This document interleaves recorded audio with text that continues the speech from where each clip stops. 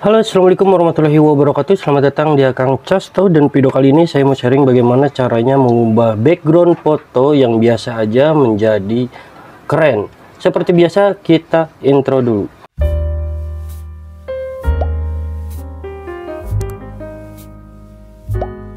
Oke teman-teman balik lagi bersama saya Casto dan video kali ini tuh saya mau sharing bagaimana caranya edit foto yang biasa-biasa aja tapi merubah backgroundnya itu jadi bagus gitu Nah di sini tuh ada beberapa yang perlu kalian download yaitu ada dua aplikasi. Yang pertama itu kalian harus download dulu pergi ke Play Store.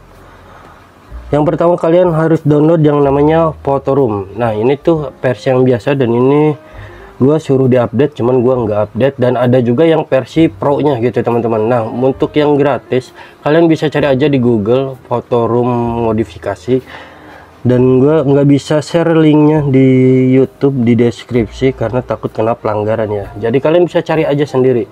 Nah untuk yang kedua kalian bisa download juga yaitu Snapseed atau Lightroom. Di sini saya menggunakan Snapseed Snapseed kenapa? Lip chat salah mana? Snapchat nah kalian juga download aplikasi Snapchat yang ini. Oke yang pertama kita bisa masuk dulu ke aplikasi fotoroomnya oke teman-teman sekarang kita tinggal masuk ke aplikasi fotoroomnya yang ini. Terus di sini kita klik yang start from photo. Di sini kalian bisa cari foto mana yang mau kalian ubah backgroundnya nah di sini gua mau pakai yang ini nih. Foto gua sendiri. Nah. Terus di sini ada AI background dan di bawah juga ini kalian bisa transparan. Yang backgroundnya black terus backgroundnya blur. Di sini ada album loh di sini banyak juga. Kalian bisa pilih-pilih aja background mana yang mau kalian pakai. Nah di sini saya akan pakai yang AI background yang ini. Tinggal klik. Tunggu beberapa saat karena aplikasi ini tuh membutuhkan data internet ya. Nah di sini backgroundnya bisa kalian lihat banyak banget bisa kalian pilih. Di sini kalian juga jangan asal-asalan pilih background. Biar hasilnya lebih maksimal, kalian pilih background yang terlihat natural.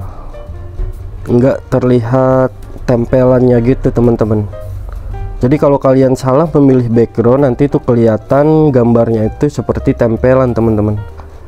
Nah, di sini mungkin nggak ada yang cocok di sini gue mau pakai yang sore-sore aja kayak gini nih cuacanya nah contohnya kayak gini nih ini kan terlalu tempelan ya noh gambarnya enggak natural gitu. Jadi kelihatan banget ini gambar tempelan. Jadi di sini skip.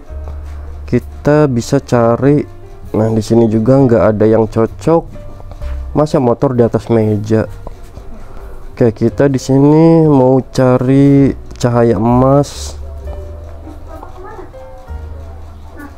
Tinggal tunggu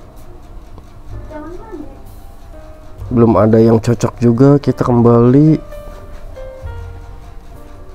Di sini saya mau nyari background yang pas aja sih. Di sini saya mau nyari background coba musim gugur.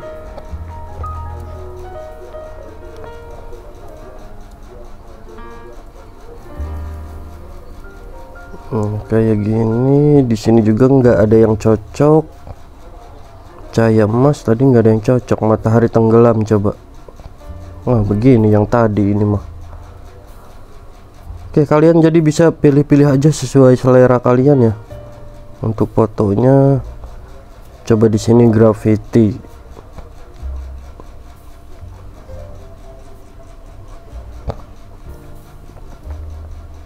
Nah jadi graffiti kayak gini coba gua mau yang bawah ini apakah terlihat tempelan atau enggak?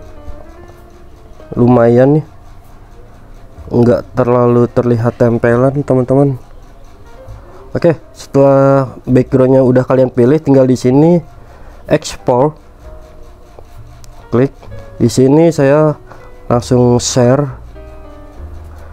Di sini kita akan share pindahkan ke Snapchat nah ini udah ada di Snapchat. Tinggal kita pilih filternya mana yang mau kalian suka. Ini tuh fungsi Snapchat untuk menyamarkan ya antara background dan objeknya gitu teman-teman. Biar enggak terlalu biar enggak terlalu kelihatan tempelannya gitu teman-teman. Tinggal alat di sini poles gambar kontras mau gua coba naikin saturasinya udah ambience. Oh, mungkin segini aja kali ya. Highlight gua naikin bayangan gua turunin. Apa naikin ya? Wow ini makin biru. Ini sedikit agak sore mungkin gua mau naikin segini nih. Saturasinya gua naikin dikit sekitar 11 nah kalau untuk editan ini di Snapchat kalian tergantung selera kalian teman-teman. Di sini alat detail. Untuk detail struktur. Ini gua mau turunin aja strukturnya biar enggak terlalu tajam-tajam banget. Nah segini mungkin udah. Terus gua crop lagi. Di sini ukurannya ke potret 16 banding 9 oh, mungkin segini kali ya nah segini klik. Nah udah. Setelah itu kita tinggal selesai. Tinggal kita kembali kita cari di galeri dan ini dia untuk hasilnya tuh. Nah berikut inilah untuk hasil-hasil foto dari room dan Snapchat seperti ini teman-teman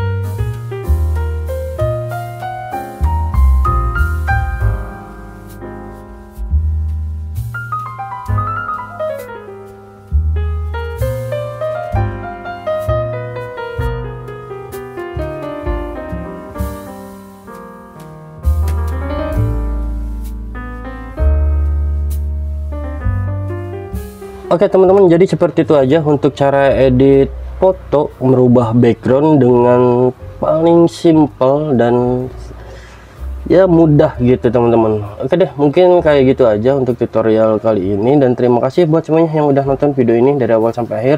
Semoga videonya bisa bermanfaat dan saya Casto pamit undur diri. Wabillahi taufiq assalamualaikum warahmatullahi wabarakatuh. Bye bye